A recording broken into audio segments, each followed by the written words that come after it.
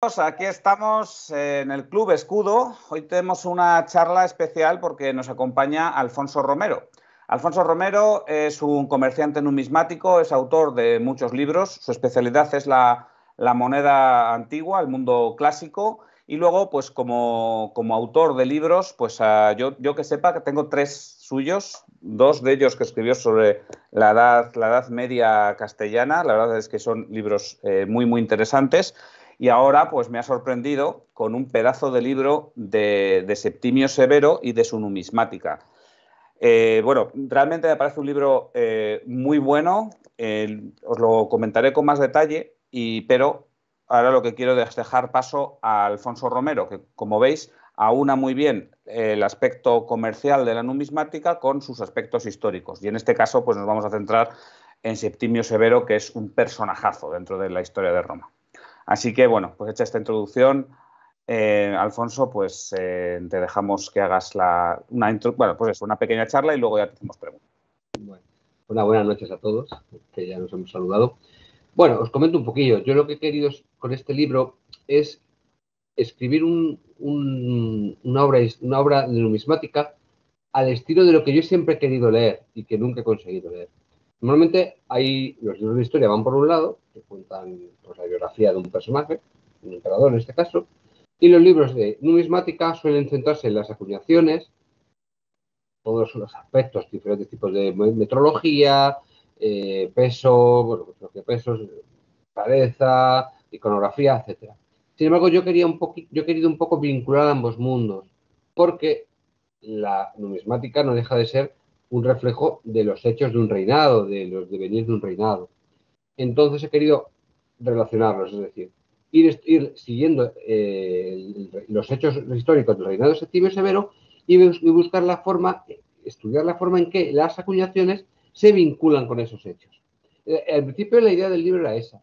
Sin embargo, luego me di cuenta que también las acuñaciones permitían arrojar luz sobre el lugar, sobre espacios o momentos puntuales, momentos de esos hechos que no estaban demasiado claros en las crónicas ni en la epigrafía. De tal manera que al final se consigue una, unión íntima entre ambos conceptos.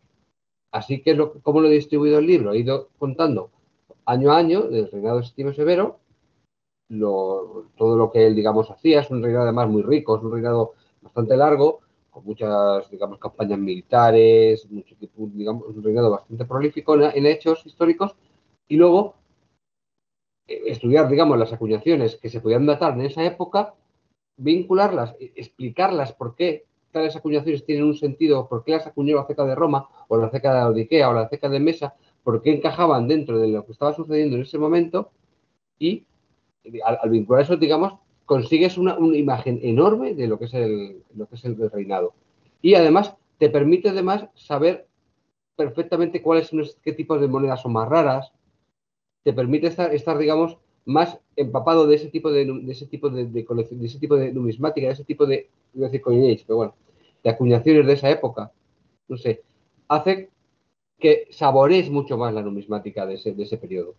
A mí me, eh, gustaría, digamos, poder leer más libros de esos, poder, por ejemplo, que alguien sacara uno de Trajano o de Adriano y, que yo pudiera ir, digamos, explicando por qué se saca tal reverso, por qué se saca ese, por qué se escoge ese reverso, qué he hecho, histórico refrendaba ese reverso, justificaba ese reverso.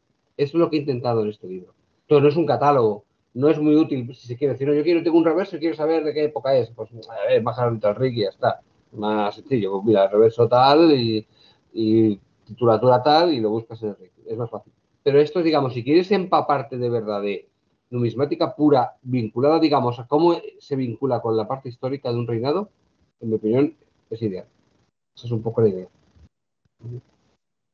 Luego, pues bueno, puedo contaros un poquito. Eh, hay dos, serían, en este caso serían, mm, está dividido en dos partes, pero que no están separadas, es decir, que van compartidas. Por ejemplo, mm, una dualidad de capítulos sería, por ejemplo, el año 203, los sucesos, por ejemplo, retorno a Roma del emperador, mm, campaña, por ejemplo, en, la Galia, algo por el estilo. Y entonces, miras las acuñaciones de ese periodo y te das cuenta que sí, que efectivamente están relacionadas con retornos, están relacionadas con peticiones de paz, están relacionadas con peticiones a salud del emperador. Cuando el emperador está en campaña, pues hay riesgo de que pierda su salud. O o relacionadas con el deseo del pueblo romano de que vuelva con un éxito, retorne a Roma con felicidad, es decir, fortuna reduci. Vas viendo y dices, es que todo encaja, encaja perfectamente, encaja perfectamente. Y, luego, y luego hay otros reversos que dan información que, que no figuran en las crónicas. Hay viajes a África que no figuran en las crónicas en ninguna parte, sin embargo las monedas te lo indican. Te digo que es, en mi opinión, es como la numismática debería ser tratada a nivel, más como un vehículo para comprender mejor la historia no tanto a lo mejor como una ciencia aislada. Yo la, numismática la disfruto más cuando se mezcla con la historia, incluso con la arqueología, no tanto como una ciencia aislada. Un poquillo lo que quería comentaros. Vale, ¿y, qué tipo de, cosas te das cuenta? O sea, ¿qué tiene una moneda para que a ti te dé pistas de que ahí Septimio Severo hizo un viaje a ah, África? A ver, mm, a ver, si por ejemplo aparece un reverso pone África, eso desde luego no es, evidente. divinidades relacionadas con África, divinidades relacionadas con África. Habla de un retorno, de un deseo de un retorno, un adventus. Todo eso te da esa idea de que probablemente estuvo en África ese tiempo. Y ahí, por ejemplo, concretamente hay un viaje a África que se sospecha que hizo un segundo viaje a África porque las monedas lo indican. No se sabe, en, las crónicas no, lo, no, figura mencionado, sino que se sospecha que existió ese segundo viaje a África. Luego, además, también las monedas, lo bueno de las monedas de Septimio Severo es que tienen muchos elementos de datación. No todas, ahí de todo lo que figura en el RIC, que yo me, he basado bastante en el RIC 4.1, hay muchas que no tienen elementos de datación, pero muchas sí lo tienen. Y eso ayuda mucho también a, trabajar, eh, digamos, a hacer, el libro. Normalmente se pueden datar por la tribunicia potestate, la potestad tribunicia, el consulado y el imperio. Y gracias a eso, desde luego, se permite, digamos, ajustar muchísimo eh, en el tiempo las emisiones y que encajen perfectamente con los hechos históricos. ¿Y esto es algo propio de este reinado o que se da, o, es, no sé si propio o, más intenso en este reinado o también ocurre en otros? Porque el reinado de Septimio Severo, sobre todo los primeros 193 a los 100, un poco antes de los 199 por ahí, es muy, es muy prolífico en hechos históricos. Y cada vez, por ejemplo, que había una campaña, y, en la propia campaña alguna victoria concreta, los, soldados celebraban mediante una exclamación al emperador, le llamaban imperator. Eso era un imperio. Y eso, eso quiere, y por ejemplo, cuando normalmente cuando la aclaman por primera vez, cuando un imperator es el primer imperio. Y aparece la moneda. Y Septimio Severus, aunque eso puede indicar que es emperador, pero también indica que ha recibido el imperio. Y cuando es, ese primer imperio no se pone imp 1, simplemente se pone imp. Sin embargo, cuando lo han vuelto a aclamar en alguna parte es IM2. Claro, es, bastante fácil conseguir eh, esclarecer cuándo lo aclaman, porque si, por ejemplo, ha habido una campaña, ha tenido una victoria, ahí se ve claramente que es el IM2. Si luego tres meses después consigue otra victoria en la misma campaña, es el IM3. Y de esta manera, digamos, es muy fácil tanto datar las monedas como vincularlas con, el, con su reinado. Ya digo que es muy interesante porque tipo severo da muchísimo juego para eso. Otros dan menos porque han tenido menos actividad militar sobre todo las exclamaciones imperiales están relacionadas con la actividad militar. Otros emperadores, pues ojo Adriano, Adriano, por ejemplo, se movió mucho, viajaba mucho, pero no tenía tanta actividad militar y no daba tanto juego a que se movieran las, a que se movieran, digamos, los epítetos en la titulatura. Pero, y otro tipo de reverso, porque decías lo del Adventus o tal, esa, esa idea de, la, bueno, que, que o sea, era una plegaria para la llegada del emperador. Ese también se da con otro tipo de emperadores, tipo. Muchas veces los reversos, muchas veces los reversos de Septimio eh, no son, no son inéditos. Son reversos que pueden estar en Adriano, Marco Aurelio, o sí, normalmente, normalmente, sobre todo en Adriano, Marco Aurelio, Trajano, porque Septimio Severo tenía mucho interés en que fuera vincularse con la familia antonina. Cuando digo familia, no es que fueran familia, eran los emperadores adoptivos que eran familias se adoptaban unos a otros y eran como los, los antoninos, pero bueno, no son familia unos de otros, familia biológica.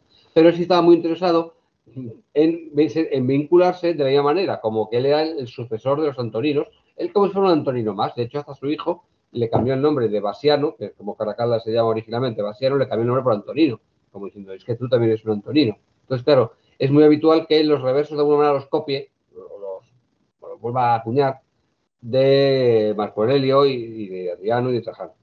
De inéditos hay también, pero bastante menos. Vale. Bueno, decías que tú querías leer más sobre más libros así, que no hay más libros así, así que te va a tocar a ti escribirlos. ¿Qué otros? podría hacer, supongo. Trajano, me imagino. Daría amiga.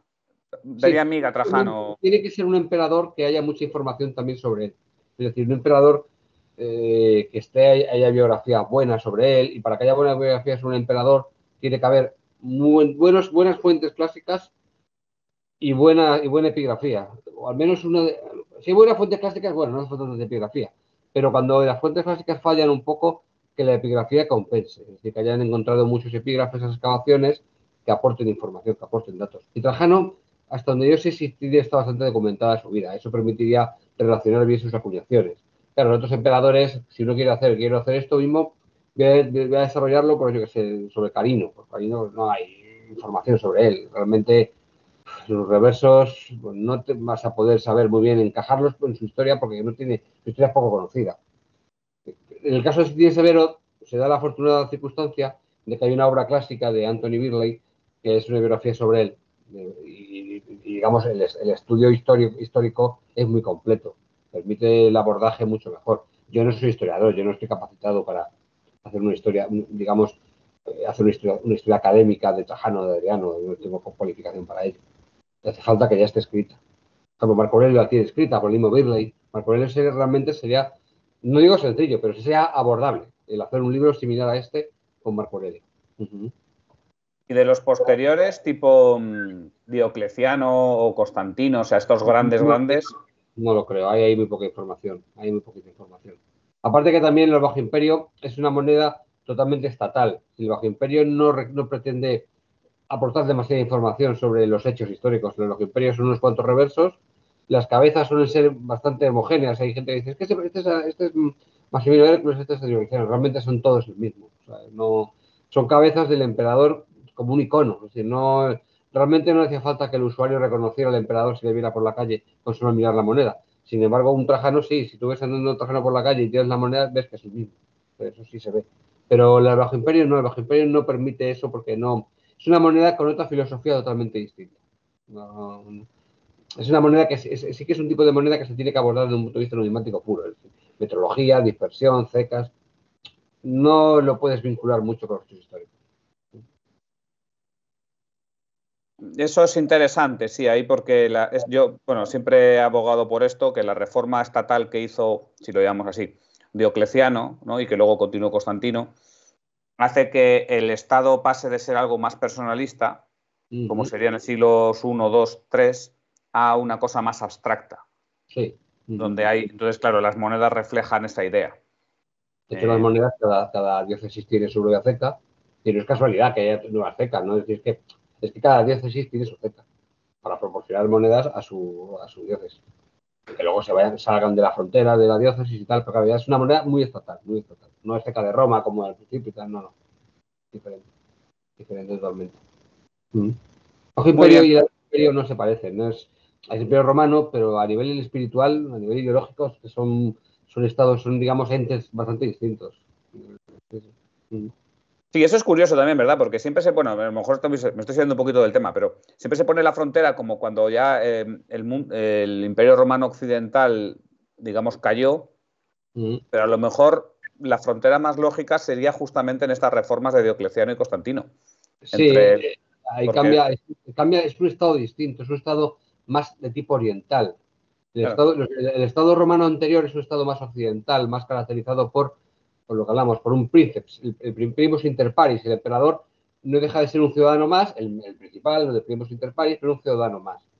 Sin embargo, eso, diga, eso cambia mucho en el Bajo Imperio y el emperador pasa a ser una especie de representación de la divinidad o de representación de la estatalidad, es un ente supremo, un ente superior, muy, digo, muy a, años luz del ciudadano medio, es decir, en paralelo cómo funcionaba el mundo oriental, cómo funcionaba el mundo oriental, el mundo persa, el, mundo helenístico también, el mundo helenístico ya más tardío, está muy influenciado, se nota que está muy influenciado. Ya, se nota, se nota que además que el, el centro grande del imperio se ha desplazado a Oriente dentro del imperio, que en, su primer, en sus primeros hasta el siglo III, o sí, III, está, está basculado a Occidente, luego se desplaza a Oriente. De hecho, las provincias occidentales, España es una de ellas y Galia la otra, declinan bastante en esta época. se inclinan bastante porque se ha desplazado el, centro de gravedad hacia oriente. el estado más oriental. Pues son los orientalizantes. Oye, ¿y, otros miembros de la, de la, familia Severa? Porque Caracala también sería una biografía muy, muy buena y hay mucha información. Caracala, sí, Caracala en, lo que es el libro mío, eh, sale Caracala, Geta, Plautila y Domna. Lo que son durante la vida de Severo hay muchas acuñaciones de Caracala, y eso, aparece igual porque evidentemente son acuñaciones de Steve Severo, aunque no son él, pero son de su época. Luego ya él, solo, mm, el reino de Caracalla está peor documentado y tampoco es tan rico en hechos y es más corto.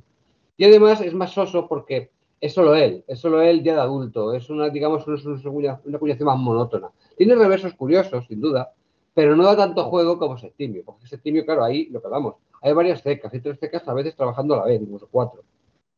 hay varios personajes, los personajes evolucionan, porque claro, todos, al principio Caracalla es un niño y cuando ya las últimas acuñaciones tiene prácticamente el gusto de adulto, no hay mucha diferencia con el, un cara del 210, su cara es verdad que está como más infantil, se nota que ordenó que cuando ya era su propia moneda le pusieron otro rostro más adulto, pero es parecido. Digamos, da mucho juego, es un reinado que da mucho juego para hacer un libro de esto. Uno de Caracala se podría hacer también, pero ya sería un trabajo más modesto porque es que no da para más. El personaje no da para más. Vale, más preguntas por ahí, porque si no parece que estoy hablando yo solo. Seguro que ah. Sí, yo tengo dos preguntas, pueden ser un poco extensas. Bueno. Una es, siendo una obra tan especializada en un periodo tan concreto, es ¿qué fuentes principales has utilizado para elaborar el trabajo? Y el otro es ¿qué metodología has utilizado en esa obra? Vale, eh, las fuentes que he utilizado, eh, Birley, evidentemente Birley de cara, digamos, a lo que es la parte histórica, pero tampoco he abusado de apoyarme en Birley. Es decir, eh, sobre todo he estado con Herodiano y Dion Casio un Casio, y algo de la historia Augusta, aunque menos, porque la historia Augusta he sabido que no es muy de fiar lo que dice, a veces es fantasiosa y yo no estoy muy cualificado para distinguir una cosa de otra, por lo cual no, no me quería meter ahí. El Odiano y Don Casio sí funcionan bastante bien, la verdad. Entonces me he basado sobre todo en ellos. Lo que pasa es que hay muchas partes del libro de Birley que están apoyadas en bibliografía, en bibliografía en epigrafía, en estudios, en otros estudios, es más sólido. ¿eh? No tengo posibilidad de, de, no estoy cualificado para esto, me he apoyado también en eso. Eso por la parte histórica.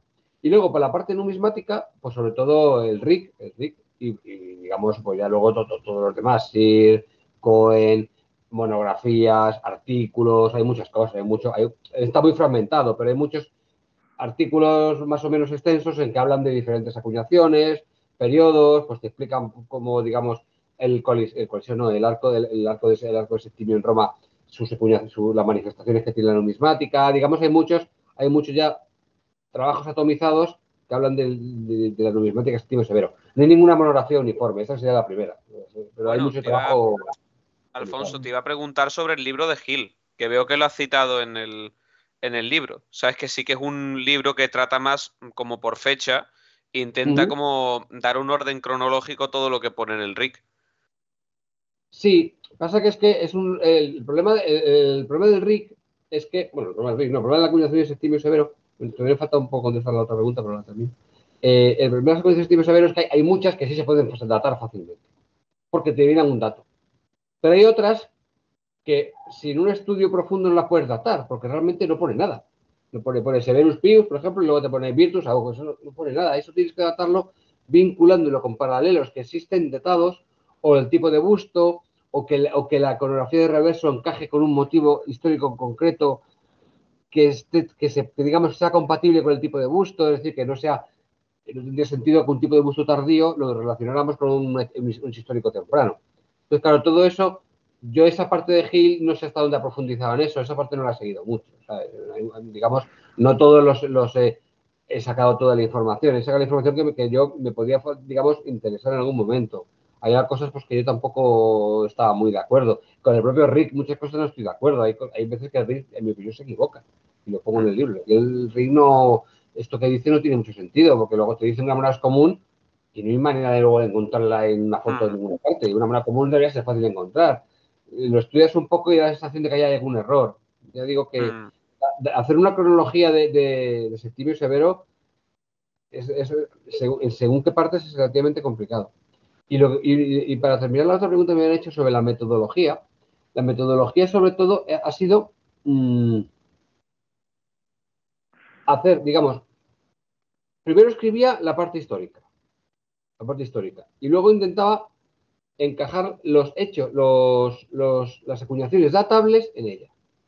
Y las no datables, intentar vincularlas sobre todo a, los, a las monedas datables. Es decir, por ejemplo, a ver si me explico. Vamos a suponer alguno que aparezca una galera. Dice Adventus Aut.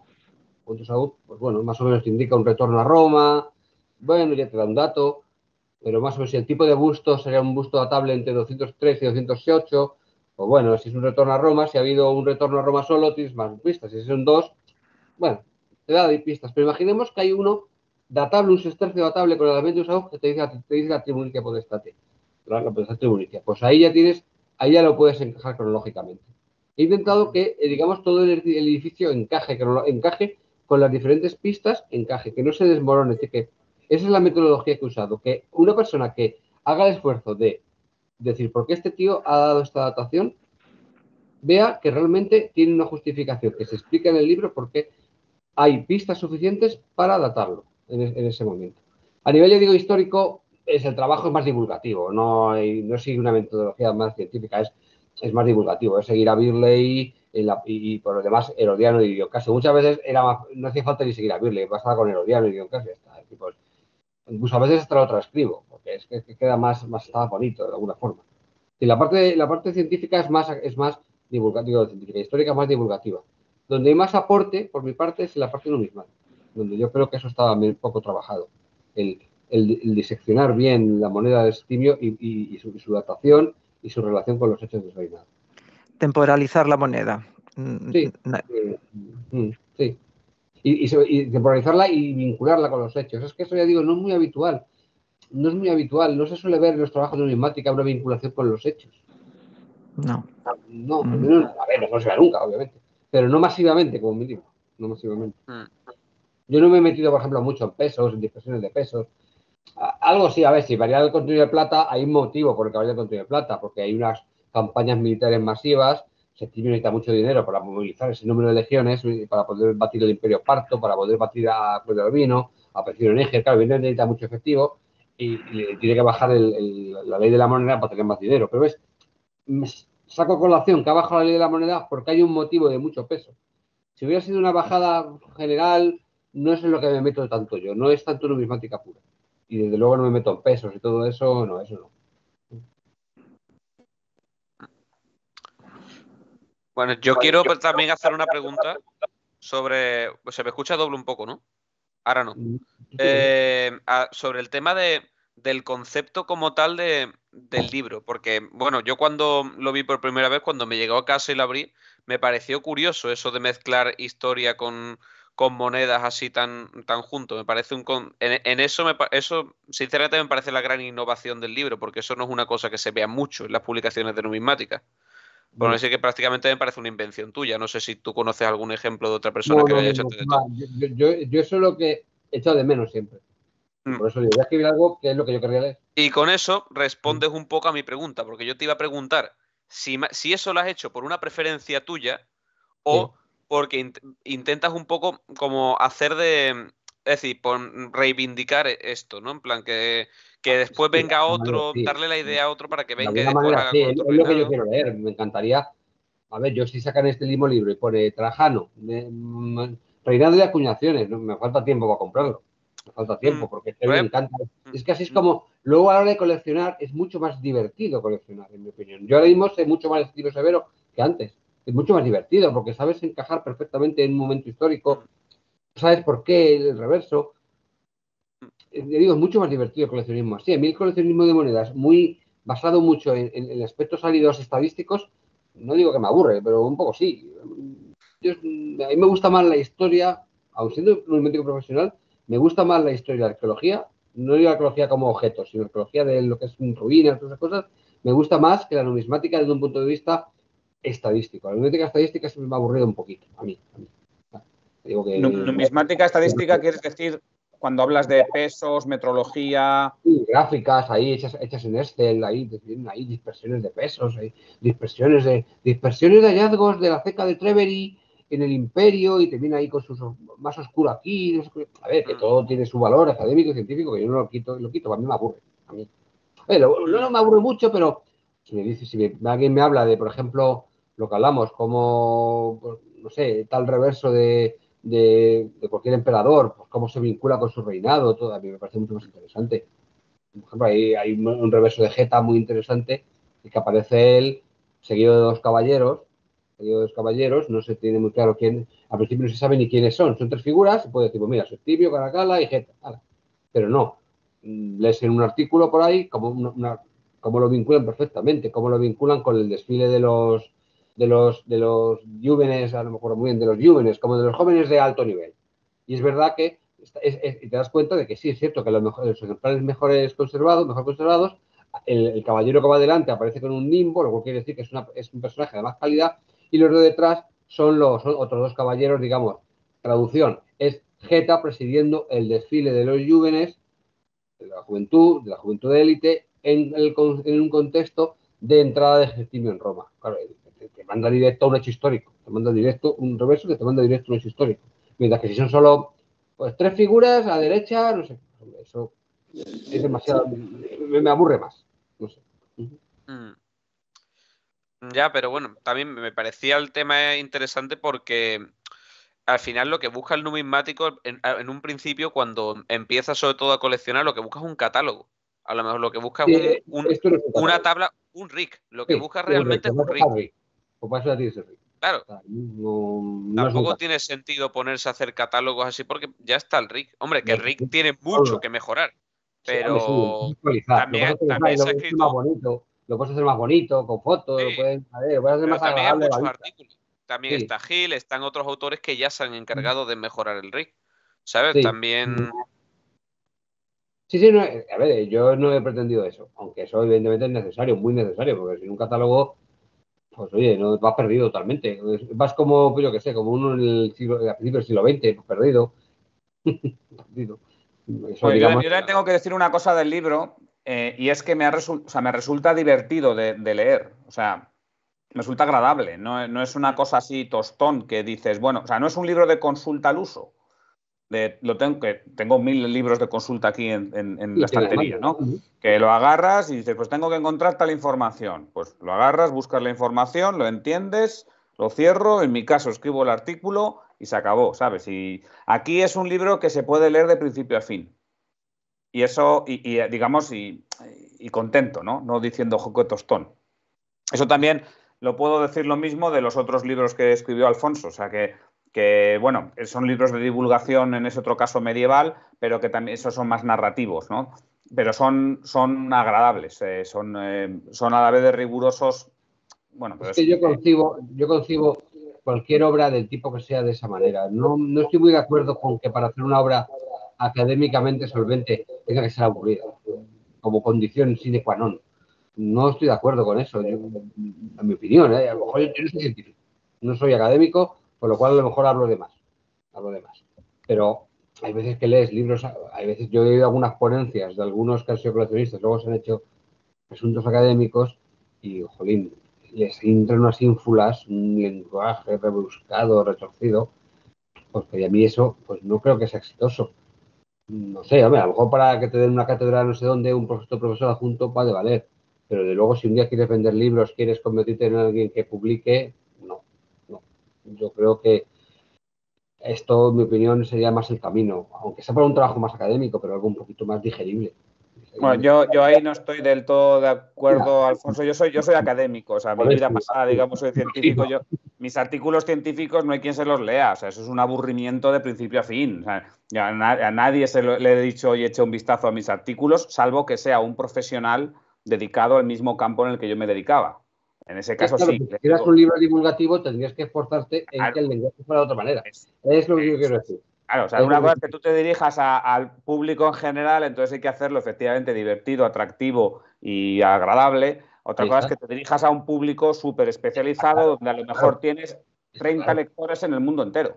Está claro. Eh, pero ejemplo, el libro de Birley que os he dicho, el libro de Séptimo de Anthony Birley, es muy agradable de leer. A ver, no es que te esté contando bromas, no, pero es agradable de leer. Está bien escrito, está, no es aburrido, está bien. Es, un libro de historia, pero que te entretiene. No, Se nota que él es alguien que, aparte de tener una fuerte formación académica, haber hecho un estudio profundísimo de septimio, se ha forzado en que el libro sea digerible. Se ha forzado. Yo creo que eso para mí es muy necesario. Muy necesario. ¿Alguna pregunta más por aquí, por el libro, por Caracala? Digo, por Caracala, por Septimio Severo o Caracala. Lo que sea. Yo tengo otra pregunta. ¿Has podido detectar influencia oriental sobre las monedas? Pues no, estoy pensando, pero no, es, es, muy continuista. Es muy continuista. No, a ver, evidentemente hay acuñaciones orientales, es decir, ceca de mesa, ceca de los esos son cecas orientales. Pero, pero sí, aunque el estilo sí que es verdad que el estilo de esas cecas, el arte, es oriental, pero lo que es la iconografía es, romana, es romana. No, es una época todavía muy temprana y no, al menos en la, en la numismática no se ve demasiada influencia. A ver, pueden aparecer dioses, puede aparecer Serapis, Serapis pues no es normal que aparezca él porque Timio era muy devoto de él. Serapis de alguna manera es un dios oriental, ¿no? Es, africano, pero bueno, africano oriental de Egipto. Hay cierto oriental, pero no, no es más a nivel, pues digo, de deidades, cosas relacionadas con Septimio porque era norteafricano, pero no, lo que es permeada, permeada de orientalismo, la, la numismática, no, no, no, es una numismática romana típica, puede, como puede ser la de, Trajano o, la de Nerva o Domiciano o de esos. No, en ese aspecto es, es occidental, es occidental. Es, vamos, romana, romana, romana promedio.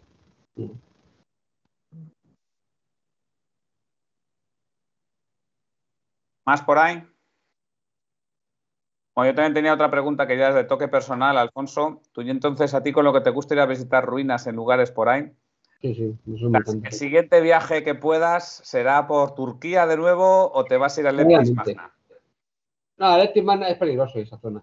A ver, a mí me gustan los viajes de, arqueología, a mí me gusta llegar, pues, alquilar un coche en el aeropuerto, llevarme yo ya más o menos mis, mapitas y mis rutas y mis cosas, e irme ahí a, a aventura. Claro, Turquía se puede hacer, porque Turquía, bueno, es más fiero el león que lo pinta, ¿no? Es más fiero el león que lo pinta. El, Turquía es un país normal dentro del cambio, tiene sus cositas y tienes pues ahí el muédano en la minarete, sí. Pero es un país normal, que si tú quieres, tienes hambre, te pasas a Solina te compras un chocolate. Un poco así, tiene un aire así antiguo. Antiguo quiero decir, es como España en los 80 o 90, un poco cutre, pero cutre, no, no moruno, cutre. Más, no sé si me explico, ¿no? No es como ir por, Marruecos, no, cutre. Pero es un sitio normal y corriente. Claro, en Libia pues hacer eso, cogerse un coche e irse por, por Libia, pues no sé hasta qué punto eso es seguro. No sé hasta qué punto es seguro. En Turquía sí es seguro, en Turquía no pasa nada. Entonces, Turquía es muy buen sitio para hacer eso. Tiene unas ruinas espectaculares, pero, pero de morirte, Además, ruinas perdidas en medio del monte, que no va ni Dios, Que no estamos hablando de, un Éfeso, que pues un Éfeso, pues hombre, eh, tiende a haber siempre bastante gente, turista. Pero estamos hablando de ruinas que en cualquier país sería la principal ruina del país y se aparecería en toda la guía de viajes, pues la tienes perdida por ahí tirada. Yo digo, tirada no, más o menos está condicionada el ahí y tal, pero vamos, que, estás tú y, tú y están además. Y se nota claramente que por ahí no vaya casi nadie nunca. Y, ahí sí tienes decenas y decenas de yacimientos. Claro, para alguien que le guste esto, porque así es, es, increíble. No está menos castigada, las ruinas están mucho menos castigadas que en otros lugares. Por el devenir histórico de Turquía de Asia Menor, concretamente a posterior al final del clasicismo, no, la mentalidad musulmana no ha sido tanto de, asentarse en lugares antiguos. La mentalidad musulmana normalmente deja, deja a un lado el lugar antiguo, no le interesa, le considera contaminado, lo considera impuro, no le interesa y funda su nuevo hábitat a una mayor o menor distancia del lugar antiguo. Eso pues ayuda a la preservación del lugar antiguo, sobre todo si luego por alguna razón no lo han canibalizado demasiado, porque estaba muy lejos, porque estaba en una montaña, y claro, no es lo mismo que esté al ladito que esté en una montaña, cuesta más traer la piedra, si luego, si se ha cumplido, se ha, dado la situación de que no han canibalizado mucho el material, y además lo han abandonado porque no quieren estar ahí, porque les parece, ya digo, impuro, eh, traerá como resultado una ciudad de media mucho mejor conservada que puede estar en un en, en Occidente donde las ciudades antiguas, las ciudades modernas asientan encima de las antiguas. Y eso evidentemente hace que haya quedado unos restos mínimos. restos mínimos. En España, por ejemplo, esa dualidad entre el lugar antiguo y el lugar moderno también se da mucho en, el mundo islámico. Por ejemplo, Bilbilis y Calatayud es un ejemplo muy claro. Bilbilis es la ciudad antigua, estaría más o menos poblada, no es poco, me imagino, pero más o menos poblada cuando la, ocupan los, musulmanes. Hay, alguien quedaría por allí, pero eso evidentemente no quieren quedarse. La, abandonan y, fundan Calatayud cerca, pero la fundan porque no quieren estar en ese lugar. Y esa, esa dualidad es muy frecuente en el mundo, el mundo hispano. Hay muchas ciudades que son, que tienen su, cerca de la ciudad moderna están las ruinas de la antigua. Sin embargo, eso si os fijáis en Italia, en Francia, en propia Grecia, en otras provincias del imperio no pasa. Normalmente la ciudad moderna está encima de la antigua. Eso, pasa más en España, porque ha habido un asentamiento musulmán y desde luego en el norte de África. ¿Por qué está de Timana así? Porque evidentemente cuando la ocuparon, los, se la quitaron los bizantinos, los, musulmanes, los omeyas, se la quitaron los bizantinos y no querían que ahí no se quisieron quedar. Hombre, ya estaría decadente la ciudad, evidentemente, ya estaría decadente y tal, difícil de mantener, pero es que encima no se querían quedar en esos sitios, con lo cual fundarían otra ciudad cerca, que habrá llegado más o a menos, y la otra, si no la han canibalizado, pues ha quedado fosilizada. Claro, hoy en día pues es una ciudad increíble. Volubilis. Volubilis. Volubilis es una ciudad de provincias. Es que más no hace más importante, pero Volubilis, es una ciudad de provincias, pura y dura. sin embargo, tiene unos restos pues que ya los querrían, vamos, en España, digamos, no hay ese nivel de restos, porque en misma medida está muy reconstruido el teatro, el anfiteatro, ves fotografías de antiguas y, está muy destruido. El teatro, el teatro de Mérida está muy destruido, está excavado y recolocado todo y bueno, con mayor o menor éxito. Se nota, como son también una restauración muy antigua, también tiene su pátina, no es lo mismo una restauración de hace 10 años que cerca de 100 que tiene esa. Claro, evidentemente eso, ya las mismas ruinas han cogido, la misma restauración ha cogido cierta pátina no sé. Pero mm, una ciudad de provincias pura como Volubilis, pues tiene un grado de conservación muy, muy superior al que sería de esperar en un lugar occidental. Pero claro, allí sí, allí sí. Hay, mucho por descubrir. El mundo islámico del mundo clásico es donde está lo más, lo más gordo y lo más bonito de ver. Eso, eso está claro, vamos, eso está clarísimo. Eso, que pasa que, claro, es lo que digo, hay muchas personas que a Turquía no quieren ir tampoco. Yo entiendo, yo entiendo que de respeto y evangelio, no sé, yo lo entiendo, yo tampoco voy pero a Turquía de verdad que no, es peligroso. No, Turquía es, ya digo, porque no es muy, porque vas al baño, pues es el agujero en el suelo. Y claro, vamos, es, no está limpio. Ya te digo, yo me recuerda cuando iba por la zona de mi pueblo, los 80, los 90, cuando era joven, me recuerda, me lo recuerda el aire, el aire me lo recuerda, las casas, pues poco cuidada, las seis ventanas, pues está caído el yeso. pero fuera de eso, es muy parecido a España en esa época y, el ambiente, vamos, no es muy, no es, no es un entorno islámico que se diga, es que estoy, estoy en medio de, Argelia, no, no, no, no. Es un entorno occidental, en unos 60% occidental y luego unos 70 y un 30% islámico, pero un 70 occidental, occidental mediterráneo, pero occidental, al fin y al cabo. Merece la pena mucho. Bueno, yo si no paso a temas ya más de mercado numismático, si no hay más preguntas por ahí. Porque bueno, aquí la primera cuestión, Alfonso, es que, bueno, tú eres, o sea, con cariño te lo digo, tú eres un friki por, necesidad, o sea, que es que a ti te, se ve que te gusta y que te apasiona, ¿no? El aprender sobre todo estos temas, de, especialmente del Imperio Romano, que entiendo que dentro del mundo clásico es lo que más trabajas. sí, el em, mundo griego. bueno, ahora trabajo también en el mundo griego también yo, como yo digo, yo fui a Turquía buscando Roma y encontré a Grecia. Ah, mira. Sí, sí, sí, bueno, pero la pregunta es, ¿este conocimiento que tienes, eh, qué te aporta comercialmente? O si lo ves importante o crítico comercialmente. Hombre, a ver, hay muchas personas que hacen preguntas. Quieren saber, yo qué sé, un reverso. Quieren saber quién era Claudio Gótico. Quieren saber, quieren saber, quieren ubicar. Quieren encuadrar esa moneda en, el mundo romano. Entonces, tú tienes que estar, yo entiendo que un comerciante tiene que estar cualificado para explicar eso. Tienes que explicar por qué un Claudio Gótico pues, tiene el aspecto que tiene la moneda sin, plata. Tienes que saberlo encuadrar dentro del imperio, de, la historia del Imperio Romano. Tienes que explicar por qué los primeros folies son plateados. porque el Estado romano intenta eliminar el sistema meteorológico antiguo y transmitir al usuario, pues que eso es moneda de plata. No creo que se lo creyera nadie, pero bueno, pues, psicológicamente te indica que es una moneda muy valiosa, que, eh, que la aceptes, que es una moneda muy valiosa. Si te la dan directamente de bronce, pues, yo no me lo creo. Te la dan plateada, como está en su origen, totalmente plateada, pues hombre, aunque sepas que no es plata, pero oye, lo parece. Tienes que saber explicar eso, si no, muchos comerciantes de clásica no saben por qué es plateada, porque sí, no sé. Pero, cuando dices que tienes que saberlo, tienes que saberlo a nivel moral, digamos que tú lo entiendes como que... Se vende mejor, se vende mejor, porque si una persona le, explicas todo eso, la persona dice, oye, pues qué bueno más interesante. Pues la compro. Mientras que si solo se la, no le cuentas nada, pues es simplemente que le falte en el catálogo, como que dice, que le falte en su lista, que diga, mira, voy buscando, me falta Domiciano y Trajano y, ah, tengo un Trajano, ah, bien, venga, pues yo le compro y ya le tacho.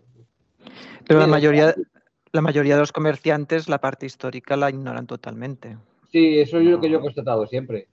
Yo lo he constatado, pero yo, a ver, yo luego, luego no es una cosa que yo haya aprendido para vender mejor, es que a mí me gusta. Pero es que a la postre te sirve a vender más, a la postre. Mm, digamos, es algo que da rendimiento tanto económico como de espiritual, ¿no? Espiritual. Y no suele darse, no, no suele darse, eso está claro. Y a la hora de comprar, también te das cuenta a lo mejor de que ciertas cosas son más raras porque a veces Sí, a veces sí. yo tengo un caso muy espectacular, que es, yo estuve en una convención española, había, pues, eh, estaba bastante oscuro. En las convenciones suele pasar que hay muy mala luz. No sé si habéis ido muy mala luz, muy mala, muy mala. Entonces, como no traigas tú tu foco, las monedas se ven muy mal. Pues, había un folio de Constantino, lo veo, reverso templo, ese estilo, es decir, ya, como por Magencio, bien, ¿eh? el nombre Constantino, porque al principio están los dos un poco llevándose bien. Bueno, pues 20 euros, ah, pues no, muy caro, bien, ¿eh? lo compro. Lo llevo. Y luego a la, luz de la calle, un, día soleado, leo que pone Liberat, Liberatori Urbsuai, o Restitutore Urbsuai, no, no sé qué liberar, una de las dos cosas. Y ya me di cuenta ahí que esa moneda es rarísima. ¿Por qué? Porque una moneda en la que hablaba, Constantino estaba aludiendo a que había quitado a Magencio y había liberado la ciudad. No era la típica, mm, digamos, Magencio se me ponía conservadores o Ushuaia, como diciendo, yo esta en mi ciudad y la conservo. Porque Magencio se preocupó mucho por restaurar Roma, porque darle, digamos, a Roma otra vez un poco de peso como centro del imperio que lo había perdido. Entonces, él de alguna manera pues, Magencio y, la moneda de Constantino acuñada por Magencio, se hace esa alusión a que él, pues están, digamos, volviendo a dar lustre a Roma. Pero en ningún momento le hubiera permitido a Magencio Constantino, ni de coña, que apareciera como liberatorio, y como si la he liberado, no he liberado nada, aquí estoy mandando yo, diría Magencio. Claro, tú cuando te das cuenta que esa moneda pone, pero es restitutorio, porque son muy contra las dos, que lo ha restituido, y que ha vuelto, que, que digamos, ha devuelto a Roma a, la liberado de alguna manera del tirano, te das cuenta de que esa moneda es con Magencio muerto. Y una moneda con Magencio muerto es por fuerza mucho más rara que con, que, con Magencio vivo. Luego lo miras y resulta que es rara, pero de narices. Es una rareza, una moneda que vendí en varios miles de euros. Ahí yo, si no me hubiera dado cuenta de eso, si no me hubiera dado cuenta, pues me da igual que ponga conservatorio, que liberatorio, que no sé qué, una leyenda, pues cojo, la vendo en 40, que es lo que va a dar un conservatorio, en vez de 20, 40, y ya está. Pero sin embargo, yo me di cuenta de eso. Si no hubiera tenido esos conocimientos históricos, no me hubiera dado cuenta. Y entonces eh, lo hubiera dado el pase un día después, 5 o 25, en 40. Que es lo que, a lo mejor el que la compró, pues la compró en 8 o en 10, me la vendió en 20. No se fijó. Ese es el caso muy espectacular, pero hay muchos casos no tan espectaculares que te hueles que la pieza es rara porque algo histórico no encaja con el precio que te han asignado o la clasificación que le han dado. Algo no encaja. Y si no tienes esos conocimientos históricos, eso te lo saltas. Digamos, muchas de las cosas que yo compro así bien de precio por eso, porque sé, encuentro algo que me, da, me, indica que la moneda no es común, pero algo de tipo histórico en ella. Por eso para mí es muy importante tener ese conocimiento también. Aunque ya digo, si no, si no te gusta, me parecería pesadísimo adquirirlo. Si te aburre, desde luego. En general pienso que como no te gustan las monedas, trabajar de comercio numismático debe ser odioso odioso, como no te guste la moneda, de verdad, odioso, un trabajo odioso. Eh. Vamos, como no te guste, esto es lo peor que puede haber. Lo mejor si te gusta, pero como no te guste, vamos, no es un trabajo como quien tiene, yo que es una gestoría, que dice, bueno, vale, trabajo mecánico, no mecánico, pero bueno, de número, yo qué sé, pero esto no, esto tienes que vincularte todo mucho emocionalmente, porque no te guste, vamos, fracasa seguro. a eso a veces yo me parece, pienso que los, en las siguientes generaciones de casas de subastas deben de trabajar muy bien que los hijos les guste. Porque es muy frecuente, frecuentísimo, que los hijos de la coleccionista no les gusten las monedas. Pero se da también mucho el caso que los comerciantes no son coleccionistas. Pues ya, pero yo, eso es cierto. A ver, yo, yo no soy coleccionista. Yo lo he sido y tengo cita pulsión coleccionista, pero todo lo pongo a la venta. Todo. pero yo lo que no he conocido todavía ningún coleccionista, comerciante que no le gusten las monedas. Eso yo no lo conozco. Yo, todos les gustan. Las entenderán más, entenderán menos, pero si consiguen una moneda de buena calidad, a todo el mundo tiene su gusto personal, ¿no? A uno le gusta más la romana, a otro la griega, a otro la, los borbones. Pero no conozco ninguno que si le gusta, yo que sé, las onzas de oro, consiga un Carlos IV muy buena calidad y no lo goce ver, viéndolo. No lo conozco ninguno. Todo el mundo goza, la, todo lo que goza las monedas. Eso yo ya digo, nunca he conocido a nadie que no que diga, ojo, qué aburrimiento. Esto lo hago porque, bueno, hay que comer, ¿no? Hay que comer. Pero no, yo no he conocido nunca a nadie. No creo, sin embargo, que el que vende cemento, pues, es, pues disfrute ahí analizando los diferentes tipos de cemento. Alguno habrá, pero yo he conocido comerciantes de eso, muchos, comerciales, porque he trabajado de eso y, hombre, la verdad, les daba un poco lo mismo. Si, era sulfo resistente o no el cemento, es indiferente. El caso era cuánto valía y ya está. Sin embargo, el comerciante te tiene que gustar. Si no es que me parece letal, es un trabajo letal. Porque, porque ¿cómo vas a saber si algo lo que vale algo si no eres capaz de diferenciar si, la, si es bueno o malo? Y, y, si no te permea a ti, ¿cómo sabes que una cosa realmente es algo digno, bonito, hermoso, si, a ti no te permea? Si te da igual que, que esté a fondo de espejo, que no, porque no te gusta. Yo estoy de, estoy de, acuerdo, pero has hecho una distinción como que eh, muchos coleccionistas, sus hijos odian profundamente la numismática, sin embargo, y sin embargo es un caso que muchos comerciantes, no solamente casas de subastas, también comerciantes autónomos, cuyos hijos e incluso nietos siguen siendo comerciantes. Yo ahí creo que la diferencia está en la vinculación. Lo que veo es que los comerciantes suelen vincular a sus vástagos desde la infancia o, la adolescencia más temprana, les suelen vincular al negocio y les suelen vincular a las monedas. Incluso yo he visto, eh, bueno, pues eh, ahora, ahora, estoy pensando en un comerciante de, de Ecuador que ya ya hizo a su, a su niña, estaba haciendo a su niña una colección de, monedas de plata de muñecas de Disney o no sé qué, era una niña de, cuatro años. Era una es una forma, aunque sea la colección, dice, dice, me decía el padre, dice, mira, eh, aquí voy a perder mil dólares con la, con la colección esta, pero es la manera de, que quiera, que le gusten las monedas desde la más tierna infancia, ¿no? Sin embargo... Te cuentan que, que intentan que sus hijos se vinculen y no lo consiguen. Bueno, pues si no lo consiguen, carpetazo y otra cosa, claro, pues se vende la empresa y se acabó. Siempre. Es muy raro el caso que dices, mira, yo soy coleccionista y mi hijo también. No se suele ver. Algunos el coleccionista, el, coleccionista ve, eh, yo he visto este error muchas veces, ¿eh? Bueno, error, sí, eh, yo diría que error. Ve que la, colección es algo suyo, suyo, digamos, egoísta suyo, o sea, como su propio espacio, su propio hobby individual, que todos tenemos derecho a tener un hobby individual, ¿eh? más allá de nuestra familia. Pero claro, al final ese hobby se convierte en una competencia en tiempo y en dinero del resto de la familia, con lo cual la familia lo coge tirria. Entonces luego el coleccionista pretende, cuando está en el lecho de muerte y tiene 94 años, que su hijo tiene 65 y no ha visto una moneda en su vida, decirle, mira hijo, lo que vas a heredar y no sé qué, y que el hijo se quede maravillado esa tarde y continúe la colección. Bueno, pues así no funciona. No. Y, y yo creo que hay mucha gente que cae en ese error de no vincular al niño. Sí, sí, sí, seguramente es ese. Y luego las, casas de subastas si sean capaces de introducir al, descendiente, ¿no? al niño, en ese mundo y que no lo rechace. Porque quizás es el medio de vida de la familia, yo qué sé, no lo rechaza. no hay esa rivalidad, no, tiene que competir con, las monedas por su padre. De alguna manera, su padre se dedica a eso. También es verdad que como el padre, digamos, una cosa que, a veces yo digo siempre, que el comerciante es como, digamos, yo pienso que todo el que le gustan las monedas, todo coleccionista, es como un yonki. Un yonki tiene necesidad de monedas, tiene, tiene su, su dosis. Pues yo, yo considero al comerciante es como un yonki también, pero un yonki que se dupa mucho, ¿no? que se chuta mucho. Entonces, claro, realmente eso hace que eh, cuando por fin puede dedicarle tiempo a su hijo, eh, realmente no necesita estar más tiempo con las monedas, porque lleva a tope de dosis todo el día. Lo que realmente puede decir, pues ahora me voy con mi hijo a dar una vuelta, de tal manera que el hijo no tiene por qué ver cómo que está compitiendo con su padre, con, las monedas con su padre. Quizás por eso la aproximación a ello puede ser más exitosa que si ve lo que dices tú, Adolfo, la familia que tiene que competir con las monedas por el padre y por el dinero del padre. El dinero de la familia, claro. Tiene que ser muy triste que diga, oh, eh, tenemos que comprar un no sé qué y no lo podemos comprar porque vas a gastar en moneda. Claro.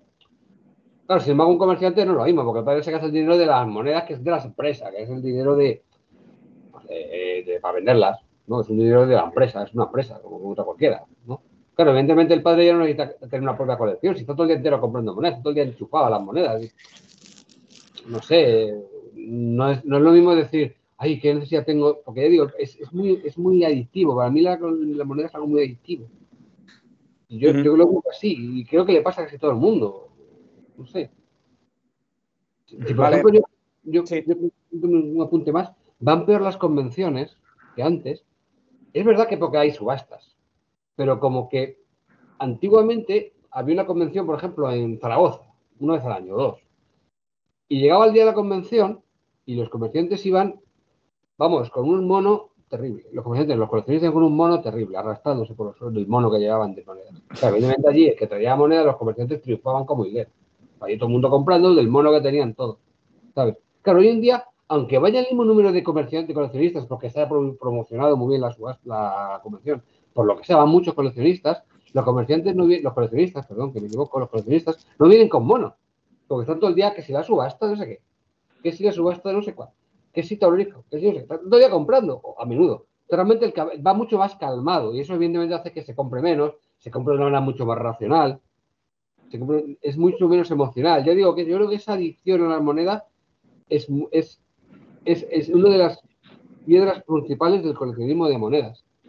Pero también ha cambiado mucho la información. Antes tú para acceder a una moneda, tu coto era muy cerrado. Más allá de tu ciudad y poco más eras capaz. Cambio ahora a través de internet compras en China. Claro, es que claro, no... claro, claro, tú llegabas a una convención y días ansioso, llegabas ansioso, imagínate tú. Estamos en enero y la última convención fue en, no sé, en junio. llegaste y que a lo mejor no vas a comprar nada, o casi nada. O uno has comprado dos o tres. Pero llegas allí y devoras, devoras, devoras. Claro, eso ya no sucede. Ahora llega el, coleccionista totalmente informado, ah, tiene 40.000 tiendas familiares, las subastas, realmente es mucho más complicado venderle algo. y la tecnología también ha cambiado mucho. Yo me acuerdo cuando empecé con las subastas, era con un fax, tú enviabas con el fax el papelito de las cosas que querías y ahora estás en internet en, eso genera menos dopamina. y con el dedo vas comprando. Eso es lo que eso genera menos dopamina, evidentemente no es lo mismo. Hay que llevar que si el fax, que si no sé qué, que si te Me acuerdo que llegar y rellenando el fax. Claro, que llegar que pujar ahí, mira que me la llevo un poco más, eso genera una cantidad de dopamina mucho más grande. Esa parte adictiva las, polea mucho más. la herramienta subasta va directo a, esa psique primitiva del coleccionista, va directa, directa, vamos, va como un misil dirigido directo a, la parte profunda reptiliana del coleccionista. No, Pero ¿no crees que también ha permitido universalizar el coleccionismo de monedas? Eh, sí, a ver, yo soy, yo soy muy favorable al mundo digital. Yo, a ver, el mundo digital ha traído cosas buenas, que son más, y algunas cosas malas malas, por ejemplo, a ver, es para mí más cómodo, como cómodo, que me compre un tío que vive 5 calles más abajo que yo. Porque así tengo, me, cojo, me bajo, dando un paseo, un paso corto encima, no tengo ni perder tiempo, me compra, me paga, tal, tal, tal. Bien, perfecto. Claro, que me compre un tío en Minnesota, pues es un, tengo que pedir un permiso de exportación, tengo que enviarlo por HL, que si el, el seguro del envío, que si no me llega, que si, que si se retrasa, que HL dónde está, es más pesado de hacer. Claro, es verdad que lo otro, si, tienes una suficiente masa crítica de coleccionistas cercanos a ti, en realidad es mucho más cómodo, que es lo que han hecho los comerciantes durante siempre. Que aquí vas a estar complicándote la vida vendiendo un tío en el extranjero cuando es tan fácil venderlo cerca. Pero hoy en día eso, eso, eso cambia, eso, eso desaparece, eso acabó para siempre. y, más competencia. Ahora tienes que luchar contra miles. Ahora mismo dices, yo ya no le puedo vender a un tío que vive al lado de mi casa porque ese tío está comprando en una subasta en Frankfurt. Por lo cual ya a mí no me quiere comprar porque le gusta más la moneda del de Frankfurt. Pero yo puedo entonces, ¿a quién le tengo que vender yo? Al que vive en Frankfurt también, o al que vive en, en Alabama. entonces, es un mundo, lo que es mucho más universal, tengo acceso a todos los coleccionistas del planeta, pero a cambio es, más complicado, es mucho más pesado de hacer. Digamos, ahora mismo el trabajo del numismático está lejos de ser romántico. En otro tiempo fue romántico. Yo sé que en los 70, 80, las historias o batallas que cuentan son batallas románticas.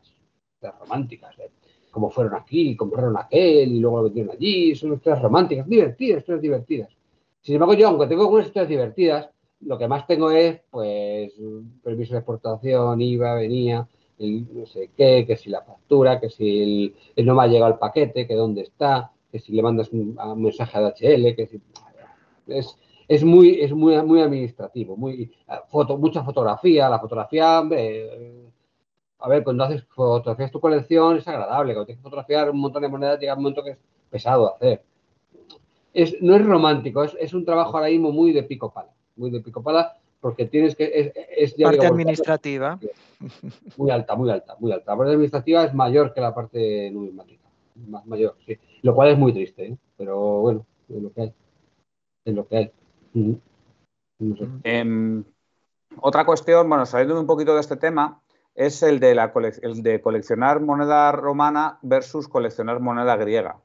Te voy a decir, Alfonso, mi, opinión al respecto, y es que, claro, por un lado la moneda griega tiene menos, menos coleccionistas porque, por un lado, es mm, más cara, por lo general, o sea, quitando media docena de cosas, claro, la gente lo que le trae son los tetradragmas, entonces, claro, pues son todo caros. Mm. Y por otro lado, es bastante más difícil de secuenciar, porque cada, cada ceca o cada región va a su aire. Y claro, metemos como moneda griega todo, ¿no? Es como una especie de paraguas donde hay un montón de culturas. Eso me acuerdo que lo hablábamos en aquella entrevista que por escrito hace años, ¿no? Sí. Yo lo hablaba un poco, depende de lo que te guste. Si a ti te gusta secuenciar, la moneda griega es muy complicada de secuenciar, porque evidentemente pues estamos hablando de ciudades. Ay, los monarcas todavía más sencillo, Antioco primero, Antioco segundo, Antioco tercero, como, como Carlos I, Carlos segundo, evidentemente es secuenciable. Pero claro, hay muchas ciudades, hay, digamos, dentro de las ciudades hay muchas diferencias cronológicas, es muy complicado secuenciar. Si te gusta secuenciar, no es lo suyo griega. La moneda romana es más fácil de secuenciar. Además, que, si agarras una ceca, lo normal es que haya uno, con suerte, un tipo más o menos común o dos como mucho, y todo lo demás es rarísimo. A ver, la moneda griega, el mundo del bronce es, enorme y es barato. Es que también depende de lo que quieras hacer. Claro, si quieres tetadrama, es que tetadrama realmente te sales de ocho tipos siendo generoso y, y, y, y, están 700 euros. Y, lo más, y además los más monótonos. Como quieras ya reversos raritos y con dibujos y elefantes, son monedas de miles de euros. ¿eh? Es una moneda que no da mucho juego para, personas de no mucho nivel adquisitivo. Ahora bien, si quieres, yo quiero trabajar griega, mm, coleccionar griega, en bronce, en bronce tienes partidas de tu vida.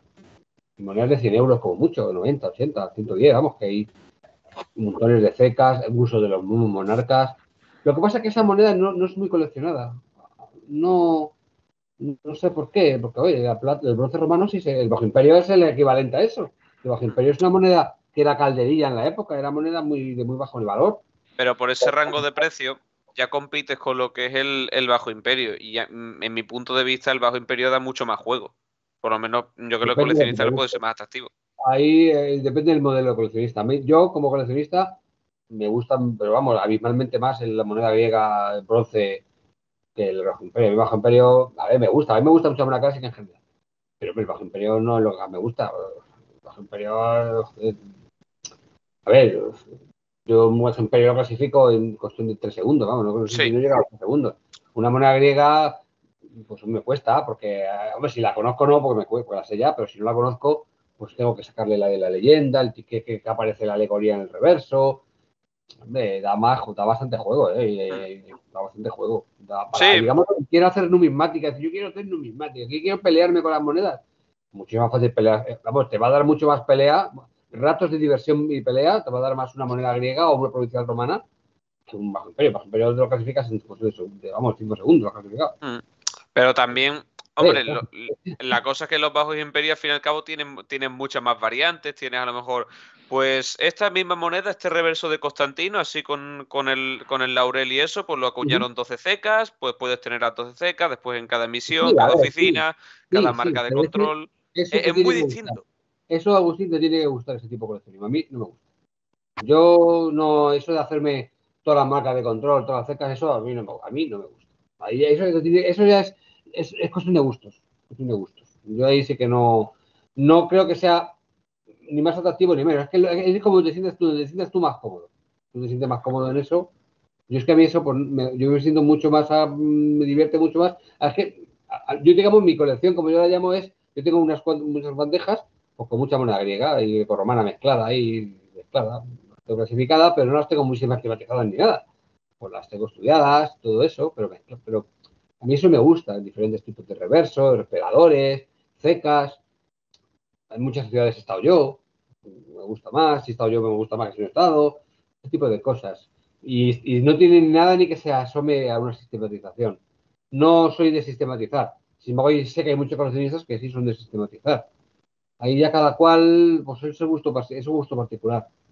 Entonces tú dirías que una persona de clase media, vamos a poner así, un padre de familia normal y corriente, como los que estamos aquí presentes, bueno, algunos son padres, otros no, eh, pero con unos ingresos medios, digamos, y que le guste eh, algo difícil, tú le dirías, oye, por los bronces griegos tienes ahí un filo. algo difícil desde un punto de vista académico, desde, un punto de vista científico, ¿no? Pelearse con las monedas, como yo digo, pelear, ¿no? Sí, sí, sí, la greco-romana y la, y la, la, sí, la provincial romana, romana eh, provincial romana de la mitad oriental del imperio.